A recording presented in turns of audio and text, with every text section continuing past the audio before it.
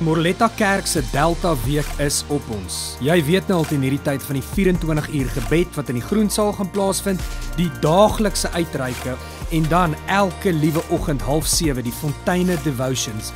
Maar baie belangrik vir ons is dat elke liewe lidmaat verstaan wat dit is wat hierdie week gaan gebeur. Sondag 21 Mei is Cassie Karstens in die auditorium met die baie belangrike tema wat vra hoe verander die Heilige Gees my. Die aand, Sondag 21 Mei om 5uur in die Morletta Kerk se Nocturnal Expression is Cassie Karstens weer daar met die vraag: Hoe help die Heilige Gees my om te groei? Maandag 22 Mei, 07:30 is Cassie Karstens weer in die auditorium met die tema: Hoe help die Heilige Gees my om mense te bereik?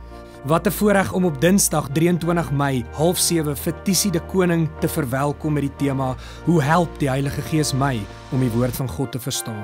Stella wat ons in lofprysing en aanbidding lei, kom deel woord met ons Woensdag aand 07:30 met Hoe aanbid ek die Heilige Gees? En dan donderdag aand 25 Mei Retief Burger. Hoe help die Heilige Gees my in lof en aanbidding? Wat 'n belewenis gaan dit nie wees nie. Sondag 28 Mei Dirkie van der Spy Hoe vol is ek van die Heilige Gees? En dan Sondag 28 Mei, 'n baie unieke lofprysing en aanbiddingsdiens wat gaan plaasvind in ons Morletta Kerk se Nocturnal aandiens. Ons hoop om jou daar te sien. Alle inligting wat jy nodig het is op die Morletta app of op die webtuiste morletta.org.